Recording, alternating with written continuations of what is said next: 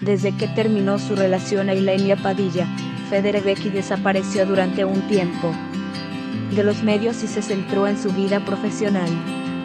De lo poco que se ha sabido desde entonces el estronista de MYHYV ha sido que este verano terminó, por fin, sus estudios en Derecho, graduándose en Italia, su país natal. Pero, en el terreno sentimental, desde que rompió con la de Benidorm, no había vuelto a estar con alguien. El ex concursante de GH VIP, tres hectáreas vuelto a creer en el amor. El italiano ha querido presentar a su nueva novia a todos sus seguidores de Instagram con una foto de los dos, donde se les ve muy cómplices, enamorados y felices. Después de una larga etapa de soltería, centrado en sí mismo, ha vuelto a ilusionarse y a sonreír, ya que durante un tiempo había perdido la esperanza en encontrar a su media naranja.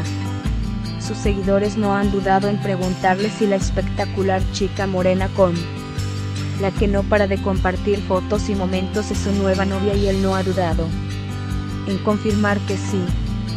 Parece ser que Federer Becky están pasando por uno de sus mejores momentos y que ha tomado un nuevo rumbo en su vida.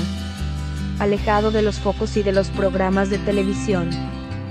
Federer Becky saltó a la fama cuando entró como pretendiente de Yasmina en MYHYV, que dejó el trono para irse con el de la mano. Su relación duró muy poco y el italiano volvió a buscar el amor en el programa, esta vez como tronista. Tampoco tuvo mucha suerte y acabó abandonando el sillón para irse solo.